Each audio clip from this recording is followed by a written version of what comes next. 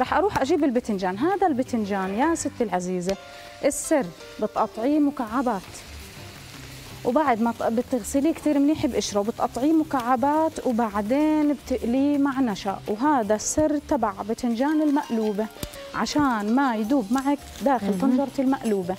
زي ما هو بتقطعيه وبتقليه وبعدين بترشي عليه نشا على الحل فقط.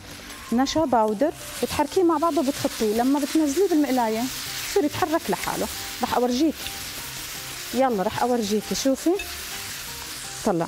لما بيكون شارب زيت بيكون خابص كله في بعضه. لو إجيت ورجيتك واحدة بس على ال close يا مهند الله يرضى عليه. شوفي. شوفي كيف ماسكة حالها الحبة. طلعي يا سلام. اشي بجنن؟ يعني هذا هو سر المقلوبة بالباذنجان كيف يا شيف؟